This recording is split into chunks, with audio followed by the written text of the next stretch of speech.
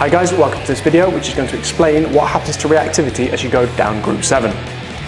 If we start off looking at the electronic configuration then, so I'm going to use fluorine. As you can see here, fluorine has got 7 electrons in the outer shell.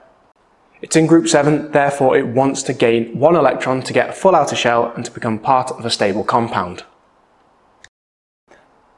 And the beauty is this is the same for every single element in group 7. So all group 7 elements, the halogens, want to gain one electron to get a full outer shell. So you should realise then that reactivity decreases as you go down group 7, exactly the opposite of group 1.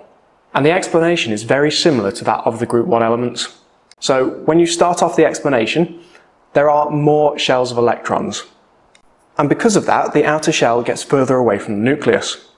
Remember, it's really important to say the outer shell, don't just say the electrons get further away from the nucleus. Because they're further away from the nucleus, there is a weak force of attraction, or the force of attraction gets weaker between the nucleus and that outer electron, or outer shell. There is also more electron shielding, because there are more shells and more electrons getting in the way of that outer electron, that outer shell. Now here's the difference between group 1 and group 7. Group 1 wants to lose an outer electron, but group 7 wants to gain it. Therefore, because that force of attraction is weaker, it is harder to gain an electron, which makes it less reactive. Therefore, reactivity decreases as you go down group 7.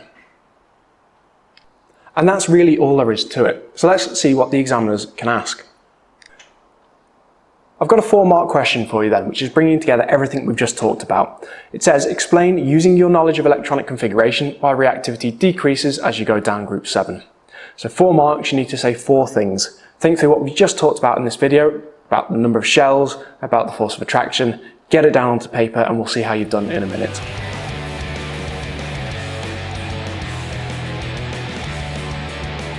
Right, let's go through. So as you go down the group, the first thing to talk about is the number of shells, as I mentioned.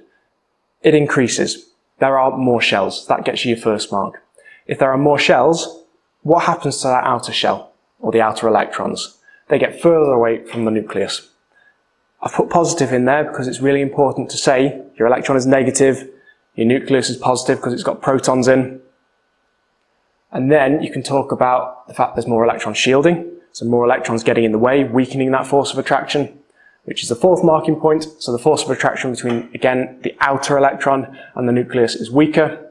And then your final marking point is saying it is harder to gain the outer electron to fill your outer shell. That's all there is to it. Any four of those five marking points would have got you four out of four. And I have got a quick review question for you. And that is, explain why reactivity increases as you go down group one, but decreases when you go down group seven. So your explanation for both is going to be pretty much identical, and then it's just that final little bit about gaining or losing electrons. I will put a, a link up in the top right hand corner about the alkali metals if you can't remember, but it should be fairly straightforward for you now. That brings this video to an end. Hi guys, thanks for watching. If you enjoyed the video, please click on like down below. You can have a look at my latest video up there. You can also have a look at my website if you haven't seen it before, and you can click on subscribe down below. Bye now.